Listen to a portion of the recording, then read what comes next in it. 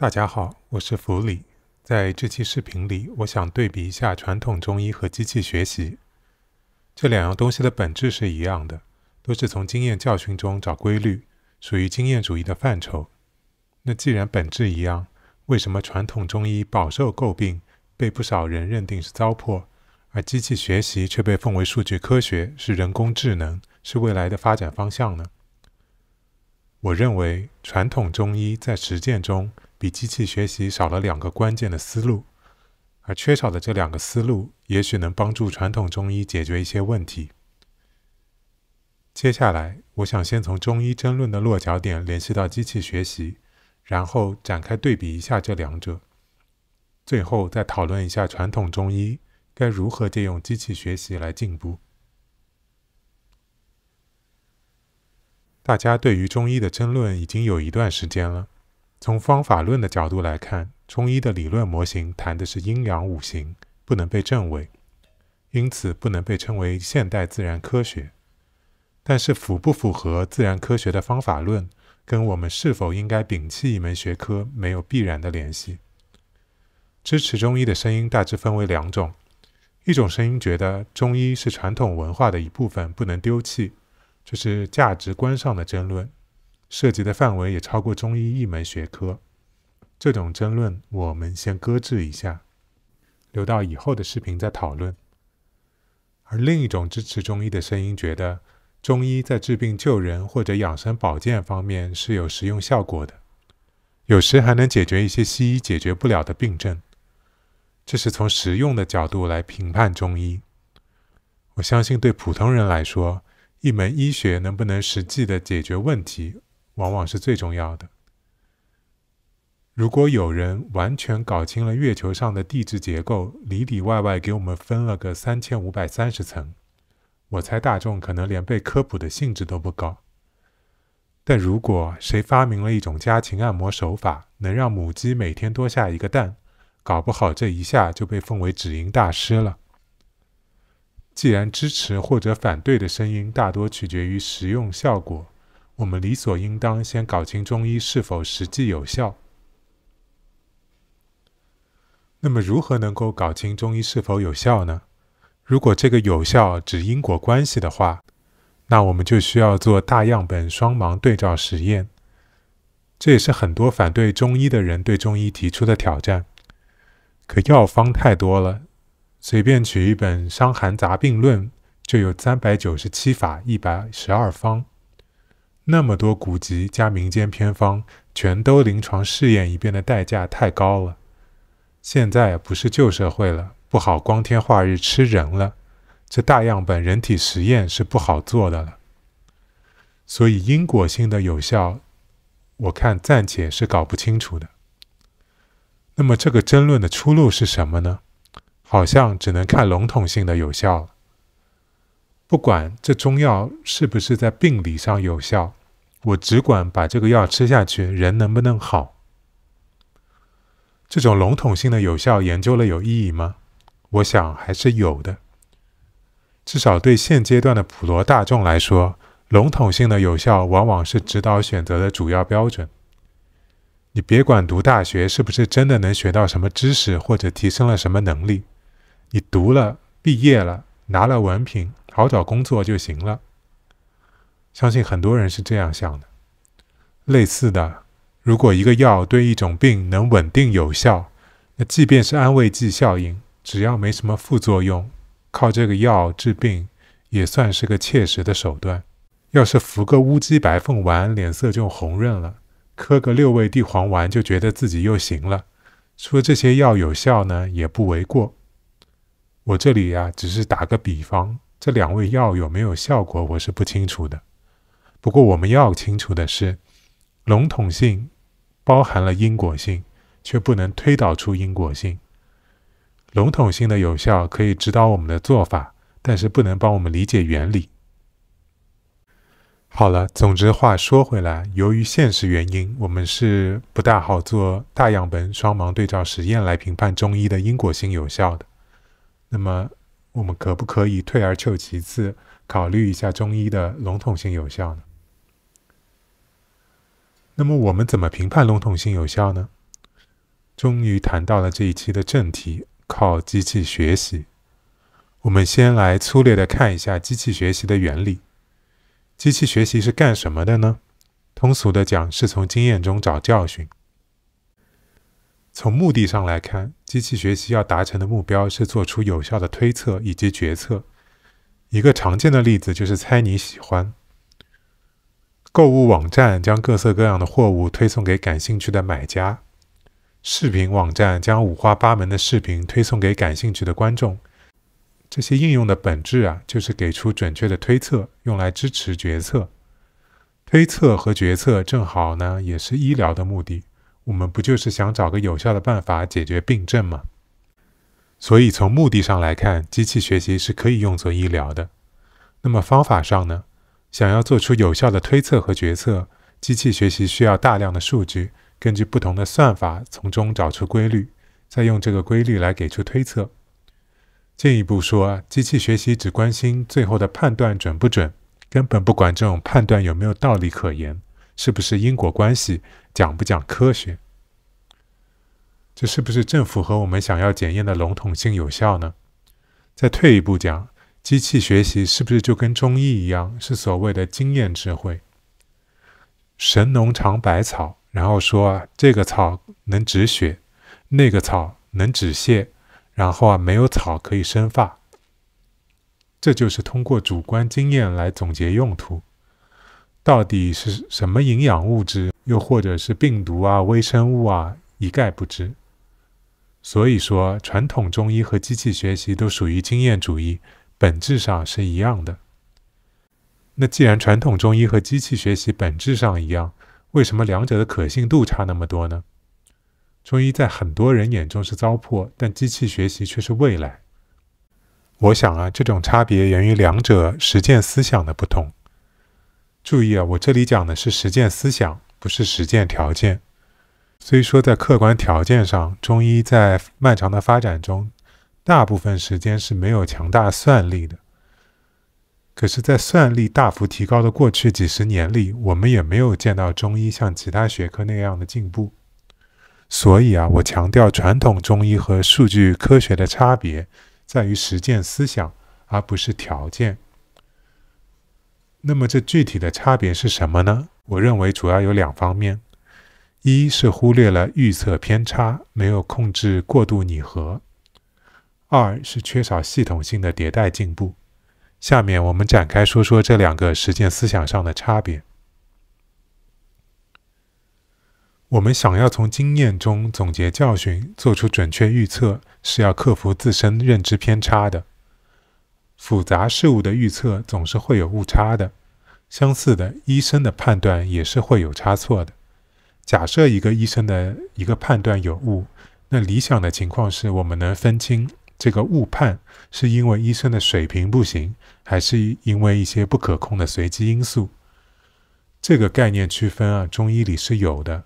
人们会分神医、庸医，这说的是医生的水平，而不可控的因素就是所谓的天命。但光有这样的概念不够，我们还要合理的区分这两种误差。可是中医啊，在实践中几乎没有对这两类误差进行区分。举一个例子，扁鹊见蔡桓公，每隔十天，扁鹊见了蔡桓公就说他有病。见了三次，蔡桓公都不理。第四十天，扁鹊见到蔡桓公，没有提病的事就走了，而且判断蔡桓公啊是没救了。在第四十五天，蔡桓公身体疼痛，病死了。这个例子本意是告诫大家不要讳疾忌医。所以在常规的解读里，扁鹊是神医，做的所有判断完全都是正确的。但是我们光看对这个病例的叙述，也有另一种可能：扁鹊误判了三次，第四次自暴自弃不看了。那五天之后，蔡桓公不巧突然得了什么急性病死了。仅凭这个故事的描述，我们判断不了到底是哪种情况。这就是在实践中，我们没有办法分别那两种误差，到底是因为人的水平不行，还是因为有一些随机的因素。举这个例子啊，并不是想质疑扁鹊的医术，我只是想指出，中医在流传的时候，往往只说成功的病例，而且把成功都算作人或者方子的功劳。不止如此，这中医还往往会过分神化一些医生或者药方。神医是不会犯错的，神药是百试百灵的。那就说扁鹊有没有失败的病例呢？好像没怎么听说过。讲道理，如果中医要健康发展的话，应当流传所有的病例，不论成功失败。在总结经验教训的时候，也不能把失败都归为天命，或者把成功全都归为水平。在一个区域或者一代人中，人们也许可以通过多个案例来判断一个医生的质量，但是在跨地区、跨时代的交流中，中医往往避开了失败的案例，也没有试图辨析成功案例中的偶然性。预测偏差是普遍的，可是中医没有证实过这个偏差。除了忽视预测偏差之外，中医的实践也常有过度拟合的问题。什么是过度拟合呢？就是在构建预测模型的时候，试图创造额外的概念或者因素来解释随机的现象。说五脏虚实不够，就配个阴阳；阴虚、阳虚、阴阳两虚都不够用了，就再提一个气虚。提了这么多概念，也许最后就只是为了解释被石头绊了一下的一个心率变化。虽然这样说起来是更头头是道了，但是过度追求预测模型的精度，会导致更差的预测能力。如果大道至简，那就不要装的高深莫测。误差跟拟合都是统计学的概念，是判断预测模型好坏的标准。机器学习也是以这些为基础的。那么，机器学习如何训练出预测能力更好的模型呢？一个重要的方法就是交叉验证。我们可以把数据分成两组，一组用来当学习的经验，一组用来检验最后的学习成果。这跟模拟试卷很像。平时啊，搞点模拟卷来练习。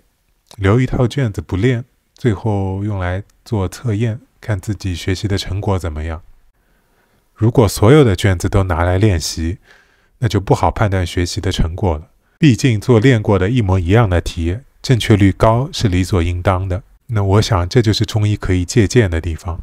中医如果能不论成败的保留病例，然后从一部分病例中总结经验，再在剩下的病例中验证经验。那相信对其判断能力会有所提升。那这就是第一个中医和机器学习实践思想上的差别。那除了缺乏对误差跟拟合这些统计概念的认知，中医的发展还缺少迭代进步。所谓的迭代进步，就是学科的翻陈出新，要么提高了成果效率，要么解决了之前解决不了的问题。对中医来说，迭代进步就是指提高了治愈率，或者解决了之前搞不定的疑难杂症。这里强调一下迭代这个概念，它有持续不断的意思在里面。我们即便以世纪这样的大尺度来看，中医也并没有迭代进步。眼下的中医跟上世纪、上上世纪比，认知上没有什么大的差别，至多是煎药、熬药被一些中成药代替了。这里再打一个比方，中医里广为流传信奉的神医，到底谁是最强的？岐伯、扁鹊、华佗、张仲景、孙思邈、李时珍，我们能不能说这些神医啊是一代强过一代？能不能治更多的病？治同样的病能不能更有效？我们也许能拿一两个病例说事，但总体来说没有办法比较。那既然这些没有办法比较，我们也就不好谈是进步、踏步还是退步了。和其他传统文化相似，中医整体的学习方向是上古，是经典崇拜。这不是说中医发展中没有纠错或者没有进步，只不过所谓的进步并不是迭代持续的，而是充满了随机性，有时还得多亏一些大逆不道、欺师灭祖的行径。一味的经典崇拜是一种盲目。如果所谓的经典还是选择性的，只记录成功的病例，细思极恐。那么，机器学习是怎么确保迭代进步的呢？首先，机器学习有明确的进步方向，主要是模型的准确率，准确率越高越好，毫不含糊。或者啊，在准确率相同的情况下，比较模型训练的运算量，需要运算的量越少，越节能，越节时间，那代表效率越高。中医能不能像这样设立明确的进步方向呢？治愈率不就是一个很直观的衡量标准吗？那怎么进步呢？机器学习的做法是尝试不同的算法，或者调整超参数，然后比较最后的预测率。用中医的比方来说，就是我用扁鹊的思维总结一堆病例，然后对测试组的病例做出预测，按准确率评个甲乙丙丁。然后再用华佗、张仲景、孙思邈、李时珍的思维如法炮制，最后谁的准确率高就用哪个。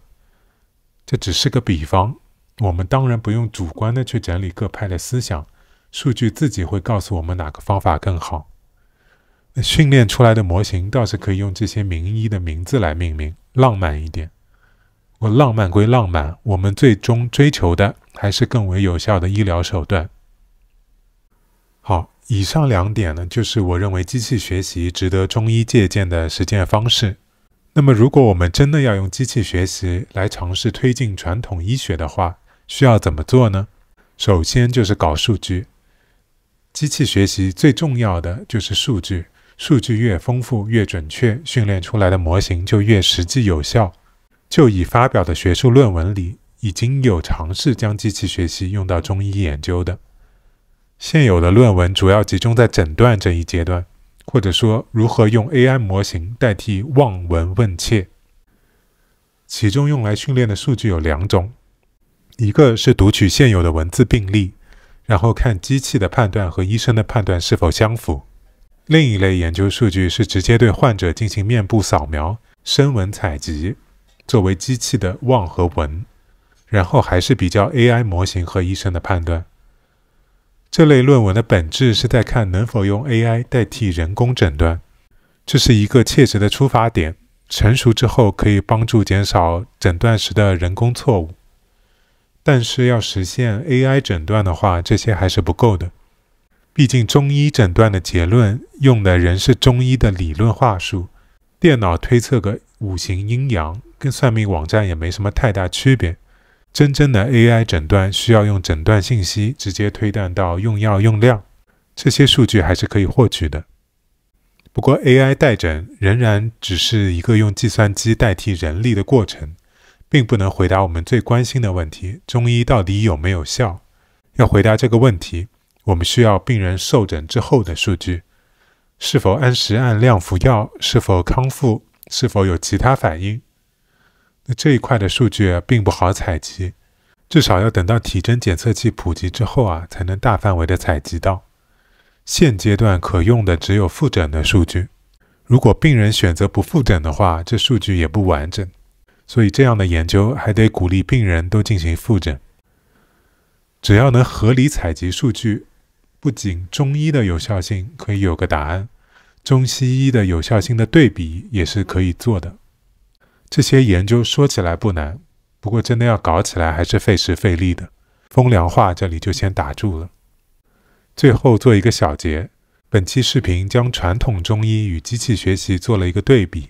虽然本质上两者都是经验主义的应用，不过传统中医缺少了统计学的误差与拟合的理念，也不能像机器学习那样迭代进步，所以大家对这两者的态度会截然相反。以现阶段的条件，我们研究不了中医的因果性有效。不过，机器学习是可以帮助我们研究传统中医的笼统性的有效的。这样的研究必定是跨学科的合作，呃，需要一些资源。不过倒是切实可行的。希望在不久的将来，我们能看到一些研究成果。也相信到时候大家对于中医的争论也能达成共识。